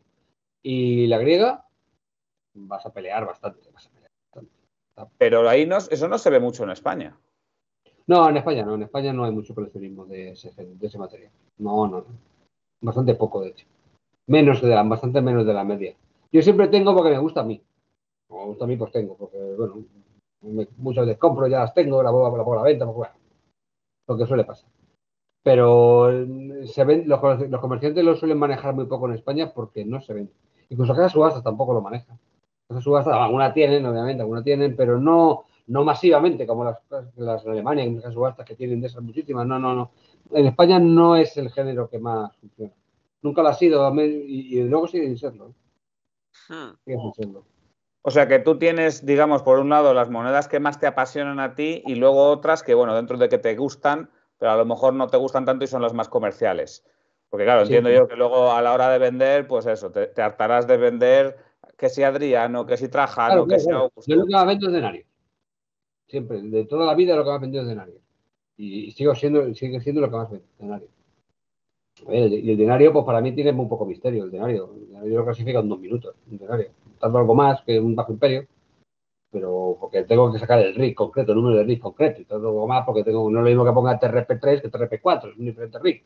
Y yo, claro, no me lo sé de memoria, todo, pero vamos, no tiene ningún desafío, para mí no supone un desafío, no supone un desafío eh, clasificar eso. Sin embargo, que me caiga un bronce de una ceca rara o rara, o, me parece a mí rara, que a lo mejor no es rara, una leyenda griega detrás, una alegoría, un galieno, y dices, ¿esto dónde es? Y lo exploras, y mira, aquí pone tía Teira, y tal, todo lo buscas en diferentes, ya no está en, cualquier catálogo, tienes que, es más difícil de encontrar y, al final pues sacas que es seca tiateira, no sé qué, tal, tal, no sé. Y, lo clasificas cuando, dices busco el RIC, tú vas al RIC a buscarlo.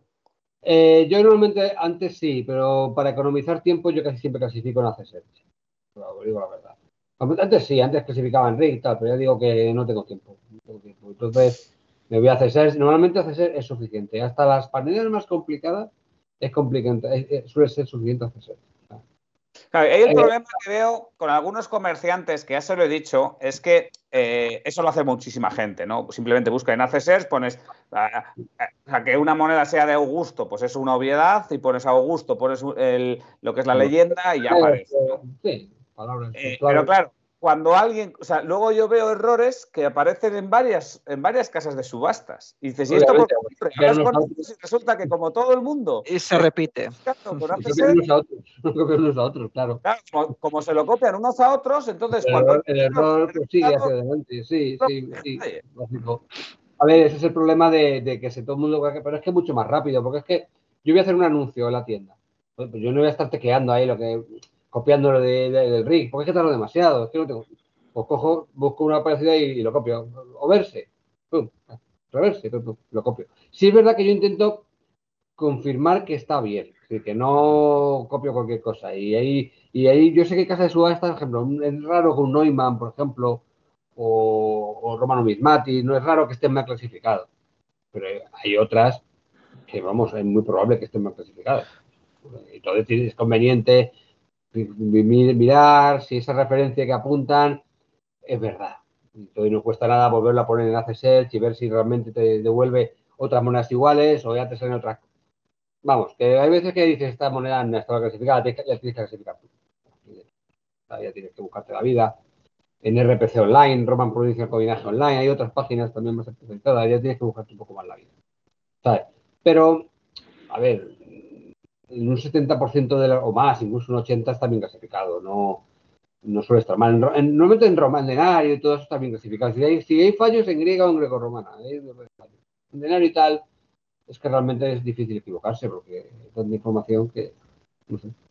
Yo estoy seguro que la próxima generación de comerciantes, o sea, dentro de 10, 15 años, esto le suena a chino. Se hará una foto y habrá una inteligencia artificial que te saca la clasificación. Puede ser, pero es que llegará un momento entonces que no, ¿cuál es tu valor añadido? Que al final haces una foto y, vas a suponer que encima ni siquiera tienes tú que hacer buenas fotos, sino que ya tienes tecnología que te hace unas fotos preciosas. Sí, sí. Sin que hacer mucho. Te clasifica la moneda y te le propone un precio, tu valor añadido desaparece. Y entonces, ¿cómo vas a conseguir las monedas? Vale, ¿alguna cosilla, alguna cosilla más? Eh, ¿Alguna pregunta que tengáis por ahí? Sí, yo tengo una también, ya una para, terminar un poquillo. Yo quería hablar del tema de la, de la, moneda provincial romana en, España.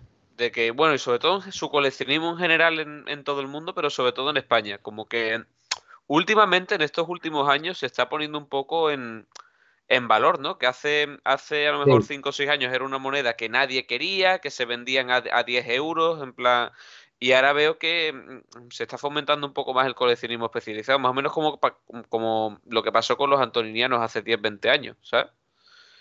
Y veo que eres uno de los pocos comerciantes en España que se está interesando por, la moneda provincial romana. ¿Tú crees que va a ser... A mí me gusta, a mí me gusta. Lo, lo próximo que se va, se va a especializar en el sentido de que como los antonianos, ¿no? Antes los antonianos se vendían a 30, 40 euros porque nadie los coleccionaba en sentido especializado y ahora se venden a 100 porque ahora ya hay personas como yo que estamos haciendo colecciones especializadas de antonianos. es que tengo una opinión sobre eso. Eh, habrá casos de personas que realmente se enamoren de antoniano de entrada y digan, ay, me encantan los antonianos. Entonces, pues antonianos. Pero, pero en muchos casos, la mayoría, van al antoniniano, van a otras cosas porque no se puede permitir ya el denario porque no se pueden permitir ya ese tercio de alto nivel. ha subido tanto las monedas habituales, el dinario, el sextercio, el áureo, ha subido tanto que ya mucha gente ya no puede permitírselo. Entonces empiezan a, explorar otros campos. Eh, no es raro, en mi opinión, no es raro que todo eso cada vez haya más coleccionistas en todos los campos, porque están siendo expulsados de los campos habituales. A ver, a mí personas que me dicen todavía hoy que quieren denarios en EBC más, pues hay muchos ahí. De un NBC más, pues ya es una moneda de mucho. Hoy en día, hasta un Adriano normal, un NBC más, ya te cuesta una pasta. Ya, pues hombre, ya no es dinero para un tío normal. Hombre, algunos puede comprar, pero pues, una moneda de 500, 600 euros, pues hombre, yo qué sé, si ganas 1.800 al mes, pues hombre, todos los meses te la puedes comprar. Y antes sí, antes un dinero de Adriano bonito, pues eran 200. Claro, ese tío a lo mejor que ya ve que ya no puede seguir por Adriano en calidad, pues a lo mejor sí se mete con Trajano Decio que todavía por 120 o 125 lo sacan muy, muy alta calidad. Claro, ese tío a lo mejor ahora compite contigo, antes no competía.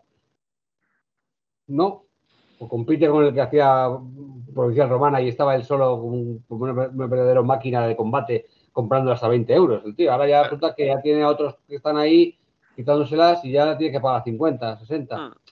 Eso, en mi opinión, es un, es un proceso inevitable al encarecimiento de las series más demandadas y, además creo que irreversible. Irreversible, porque claro, en, esto cada vez hay más coleccionistas, eso es un hecho. Sí, que es un fenómeno en cadena, que se va en una serie, después esa serie sube de precio, después se van a la siguiente serie, entonces ya, pero va, a llegar un momento que nos quedaremos sin series, ¿no? Por lo menos en el mundo clásico. si, hubiera, un número cada vez, teóricamente, desde un punto de vista matemático, si hubiera un número cada vez mayor de coleccionistas, y mayor, mayor, mayor, mayor, y tienen un perfil, un perfil adquisitivo mayor que el de uno mismo, sí, llegaría un momento que quedarías ahí arrinconado a la parte abajo, no podrías pillar nada más que, lo que sé, logramos los imperios en baja calidad, claro, sí, sí, teóricamente, de un punto matemático sí. No es lo que se llegue a ese extremo. Pero claro, desde un punto de vista, sí, sí, resulta que ya al final tú no tienes dinero para competir ni por las de Recorromana más chuchurría, porque resulta que hay otros con más dinero que tú las compran, pues sí, evidentemente quedarías arrinconado abajo. O sea que yo no creo que llegue tan, a ese extremo, no, no creo que se incremente tanto el número de coleccionistas de aquí a 10 años como para eso. Es que se incrementó mucho, con lo de la pandemia se incrementó muchísimo. Mucha gente lo descubrió, se aburría en casa, se puso con ello, ay, qué chulo, una moneda antigua, de cosas, más chulo. Yo entre ellos, ¿eh? No, pasó mucho. Que para ellos una moneda romana era como, yo qué sé, una, eh, era como el santo una cosa rarísima, una cosa que, que solo está en los museos. Justo. en su casa una moneda, hostia. Pero ese tío luego, aunque acabó la pandemia, sigue coleccionando, porque es lo que te digo, ya, ya es un drogadicto, ya no se lo puede quitar ahí ya no se lo puede quitar, entonces sigue, sigue. No, no, yo soy el mayor drogadicto de todos. sí, sí, todos los que estamos aquí presentes podemos contar. Por eso te digo, yo no estoy nadie. Eh, pero ahí, Alfonso, yo creo que el problema no es tanto que las monedas se hayan subido de precio, sino que los sueldos en España no han subido. Claro, eso no ayuda. Eh, a ver, yo aquí no me voy a entrar en, el motivo de por qué no han subido, eso, sería el tema de otra discusión, pero lo que es una realidad es que desde el año 2007 hasta ahora, el trabajador español normal y corriente ha perdido poder adquisitivo. O sea, y esto podemos coger cualquier estadística y ya está. O sea, yo me acuerdo en 2007 había un montón de chistes de los mileuristas. ¿sabes? Y, todavía tenemos a día de hoy un montón de gente cobrando entre 1.000 y 1.500 euros y no te quejes. Que, ha pasado casi 20 años y estamos igual. Entonces, claro, es normal que si ocurre esto y el mundo es cada vez más globalizado, donde un comerciante puede vender igual a un tío en Madrid que a un tío en Oklahoma, pues el de Oklahoma arrase. Si está debajo de que tiene menos que tiene un problema. Claro, entonces eso, o sea, yo, yo, en el, yo en Estados Unidos o en Hispanoamérica no me encontraba gente quejándose de que cada vez son más caras las monedas. Y también lo son, igual que aquí. ¿Y, por qué? No, no estás, no pues porque ganan cada vez más pasta. Ah, vale, claro, claro, claro, claro, claro. O sea, los sueldos en Estados Unidos, si antes eran 2.000 dólares, ahora son 4.000. El tema es que el sueldo en España antes eran 1.300 y ahora son 1.350. Y allí, sin embargo, sí ha subido proporcionalmente a la subida de la moneda. Entonces, siguen pudiendo permitir. Mm. Sí, claro, entonces, esta es la misma situación. Sí. Mm. Es lo que tiene el mercado, el mercado globalizado, pero eso también a los comerciantes os da, oportunidades también, ¿no? Si aquí en España no se, vende, se vende cada vez peor porque el poder adquisitivo de los españoles cada vez baja, pues lo bueno que tiene Internet y la, tercera revolución industrial y tal es que puedes vender. De hecho, tú eres un comerciante que vende también bastante fuera de España, creo yo. Casi todo, casi todo. No, es que, no bastante. el problema está en que antes eh, o sea, durante buena parte del finales del siglo XX esto era una cuestión cíclica. Había épocas donde, había, donde iba mejor en Europa y iba peor en Estados Unidos, entonces los comerciantes iban a Estados Unidos a comprar y vendían aquí. Y había otras veces donde era al revés y las monedas se les llevaban de Europa a Estados Unidos. Esto me lo han contado varios comerciantes. El problema está en que ahora llevamos una racha muy larga donde Europa se está quedando rezagada y aparentemente no hay nada que haga pensar que se va a dar la vuelta a la tortilla. Y luego tenemos a los chinos que acaban de empezar. Y eso también es una competencia que a lo mejor desde aquí no se vislumbra, pero cuando hablas con casas de subastas, pues te dicen, mira, me acaba de llegar eso, pues eh, cinco chinos, comerciantes obviamente, y se han llevado no sé cuánto. Pues, y, eso no, puedes competir. Si pierda poder adquisitivo, pues es malo. Eso para, para muchas cosas, no solo para esto. Sí, sí, claro, claro. Claro, si, todo el problema fuese esto. Claro. Evidentemente, si, si ahora mismo los denarios valen a 500, X denario o X moneda, y tú no tienes 500 para gastar porque si tienes 200, pero 500 no tienes, pues no podrás comprar denario. No y eso llevará a otros si los tenga. Eso tiene poca solución, muy poca solución. Y hay personas, coleccionistas, que eso pues no se resisten a intentar entenderlo. Hay personas que Yo intento transmitírselo, digo, es que tú quieres NBC más, calidades muy altas, y a lo mejor tendrías que explorar MBC más, MDBC más, porque no te... Yo no eso quiero decir, yo no, yo no puedo decir semejante cosa, pero es que no te lo puedes permitir ya, no te lo puedes permitir. Y estás buscando cosas a unos precios que no las vas a, nadie te las va a vender, porque eso es lo que valían hace 12 años, 11 o 10 años, y ya no. no te las van a vender. Y, no es ni justo ni injusto, es mercado, es mercado globalizado. Es verdad que si tienes una tienda internacional puedes acceder a ese mercado. Si tienes limitado a tener una tienda en tu, eh, que solo tiene clientes locales, tienes que venderles baratos porque ellos no tienen más dinero para más. Por lo cual tú tienes que comprar más barato. Pero eso existe. en el mercado internacional. No, eso existe. hombre, habrá alguno aún, ¿no? Pero vamos, los que estén en tiendas físicas y, no trabajen en el mercado de, Internet, digo yo, no sé. Pues yo no he conocido a nadie. O sea, la gente que tiene tiendas físicas luego también tiene su página web y también vende, no también Hombre, yo, yo, a lo mejor tienda física no, pero sí conozco gente de mercadillos y tal, porque el problema que tienen es que tienen que comprar muy barato, porque tienen que vender barato. Pues claro, como tienes que vender a 10, evidentemente, si tú puedes comprar después de vender a 10, puedes comprar a 7. Pues si tienes que vender a 7, tienes que comprar a 4 o 5. entonces el que compra a 7 te las quita porque paga más. Claro. Entonces esta es una situación que dices, o, te metes al comercio internacional y desarrollas las habilidades que te lo permitan, porque no basta con quererlo, basta que también desarrolles las habilidades, idiomas, capacidades de fotografía, descripciones, investigación de la, saber atar las monedas, esas cosas, o, realmente es que no tienes futuro en esto, no tienes futuro. Luego hay una cuestión donde creo que son dos argumentos que se suelen dar y que parece que, en ambos están, están de acuerdo casi todos los coleccionistas y me parecen a mí contradictorios. El primero es que las monedas son cada vez más caras y porque hay cada vez más coleccionistas. Y por otro lado, que la numismática está en peligro porque son cada vez menos los coleccionistas porque la gente cada vez colecciona menos. Yo con mi eh, experiencia... Entonces, ¿en qué quedamos?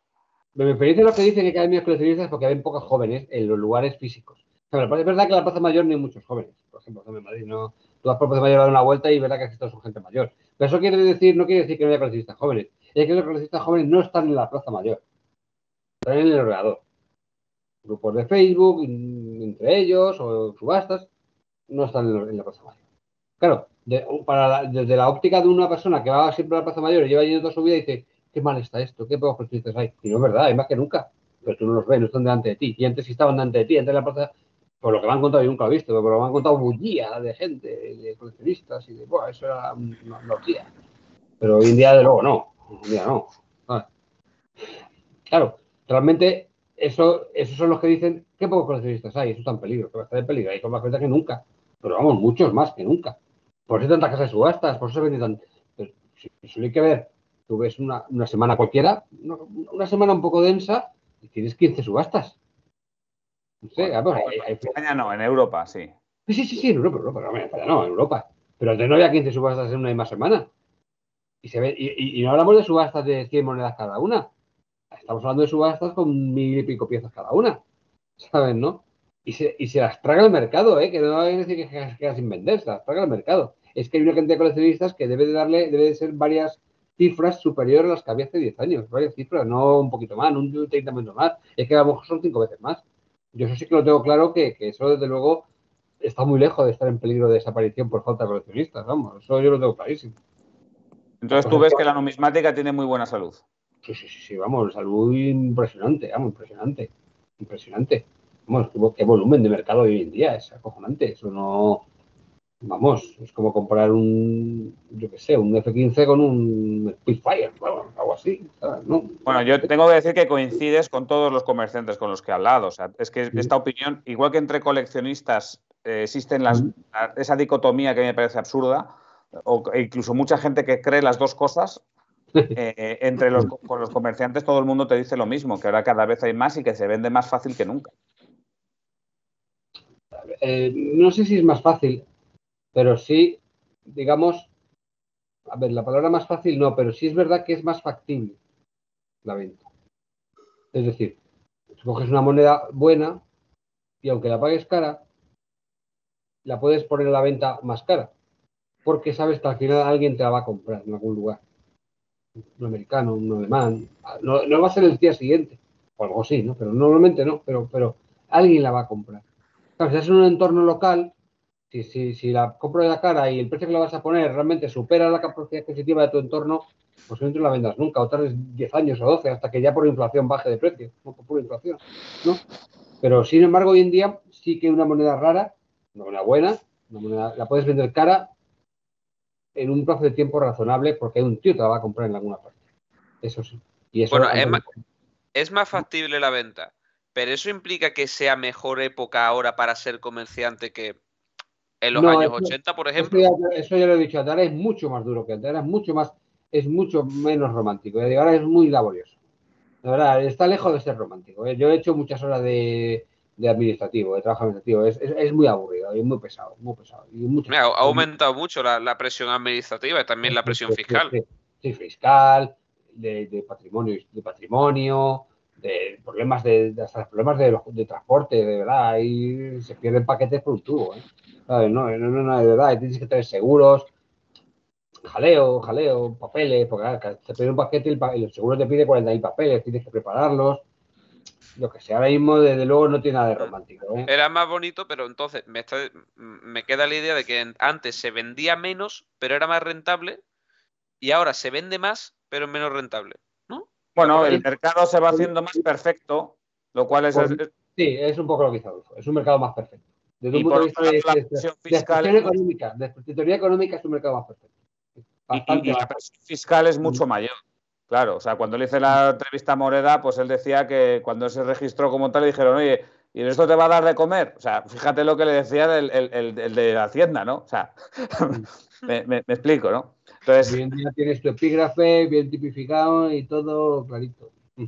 Claro, eh, no, no, tiene nada que ver y de hecho el perfil del comerciante que se está jubilando ahora o que se ha jubilado en los últimos años con estos otros comerciantes jóvenes, donde le vamos a meter también a Alfonso, eh, no, tiene, no tiene nada que ver. Quiere decir que son ya esta generación actual, los que están ahora trabajando, son gente que generalmente tienen sus estudios, la inmensa mayoría tienen una carrera superior, tienen conocimiento de mercadotecnia, tienen eh, conocimientos históricos, conocen todo este tema fiscal, eh, seguros y demás. en los años 70, 80, algunos sí, pero... La mayoría habla de las casas subastas, un, un pico, gente de Estado Guerrero, esta gente sí sabría de esas cosas, claro. Claro, claro. Comerciantes más normales, vamos, seguro que no. Yo compro esto y se lo vendo a ese, o se lo vendo a un cliente que tengo que vive cinco pueblos más para allá. Todo con cash. Hoy en día no hay tanto cash, no hay tanto cash. Mm.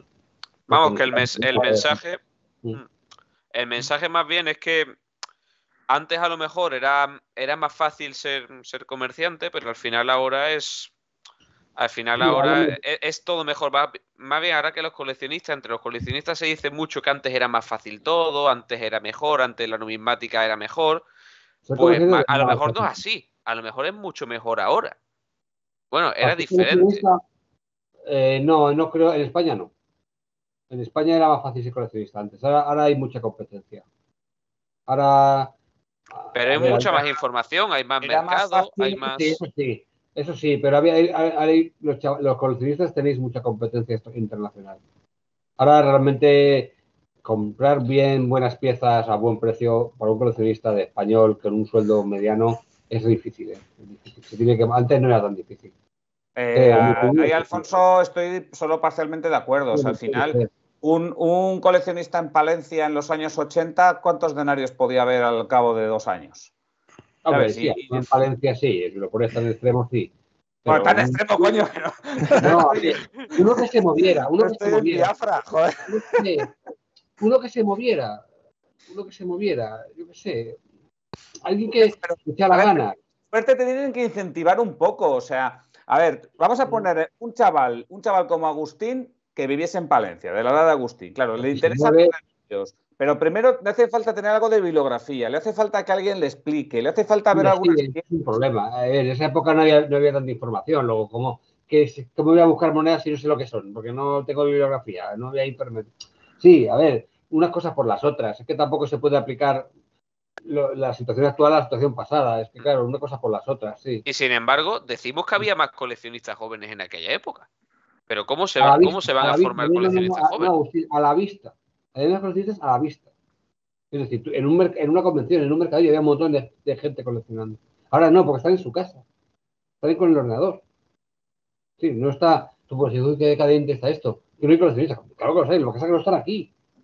Los mercadillos se han quedado para. No digo, hombre, tanto como los clásicos, mucho decir. Pero, pero vamos, el, 70, 75% de la gente que había antes ya no está. El 80.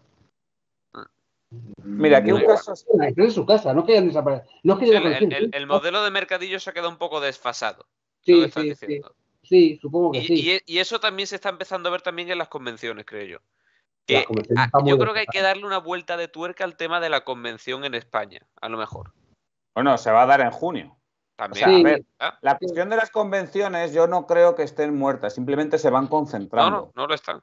y se van concentrando porque, eh, entre otras cosas, porque el, viajar ya no es tan caro. O sea, hace no mucho, tú Agustín a lo mejor no lo has conocido, pero irte a Alemania era un pastón el agarrar un avión de Madrid a Berlín. Hoy en día te vas, a, te vas a Berlín por la mañana, desde Madrid estás el día, te vuelves por la tarde y te has gastado 300 euros entre ir, volver y la comida. Y Menos.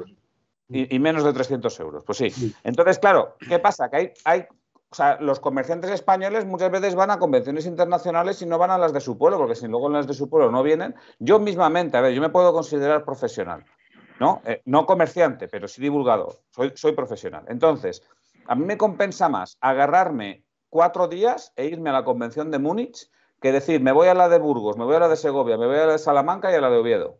Mm. O sea, mejor que irme a esas cuatro, me agarro y me voy a la de Múnich, o a la de Berlín o a la de Nueva York. Sí, eso, claro, eso no se podía hacer fácilmente en los años 90. Que vayas cuatro días si no quieres. y eso es, y si, y si no tengo cuatro días y nada más tengo el fin de semana, pues me voy el fin de semana y se acabó. Claro. Claro, pues eh, eh, eso, ese cambio de mentalidad parece que la gente. está más concentrado. Ahora mismo es, hace falta convenciones concentradas. No puede haber muchas convenciones pequeñas porque no, no hay masa crítica de coleccionistas que vayan ahí a gastarse los dineros. Mm. No tiene sentido que un tío esté andiendo hoy me voy a Salamanca, mañana a Zaragoza, porque es que no va, no va a compensarlo, no va a compensarlo. Pero si se pudieran hacer en España unas pocas convenciones muy concentradas, sí podrían ser muy exitosas de público. Y, si hay público y comerciantes, eso seguro. Eh, digamos, el, el comerciante van, si hay público, van. Y, y, también el tema de la organización también se podría como orientar más al siglo XXI, en el sentido de que veo las convenciones en España por norma general hacen muy poco esfuerzo de marketing y muy poco esfuerzo para atraer al coleccionista joven también en ese sentido. Supongo que sí, más temas redes sociales y eso. y de darse a conocer. De que yo me he llegado, yo me he llegado a perder varias conversiones. Antes cuando estaba empezando ya no, porque ya estoy muy pendiente de ese tema. Pero cuando yo estaba empezando me llegado a perder varias convenciones porque no sabía que se estaban haciendo y se estaban haciendo a 100 metros de mi casa. ¿Cuántas, ¿Cuántas convenciones eh, patrocinan el blog numismático? Mm, la, de, Vigo, y, y Carlos Alcaraz dos, dos al año, de todas las y luego el evento numismático de Madrid, ahí yo soy patrón de la organización. Sí, más Eso va, eso va aparte, ¿no? Ahí estamos dando mucha caña en redes sociales. Pero quiero decir que hay empresas que llevan 30 años eh, haciendo convenciones y lo más publicidad que te hacen es una marquesina en un autobús. Bueno, pues ellos sabrán. Ellos sabrán, Si la gente no va, pues. Bueno, yo, creo que con esto hemos hablado de un montón de temas. Salvo que alguien quiera comentar algo más, yo creo que aquí cerramos. Sí, ya lo vamos cerrando. Mm. Vale, bueno, pues nada. Eh, muchas gracias a todos los que nos han escuchado. Un saludo a todos. Un saludo, gracias a vosotros. Adiós.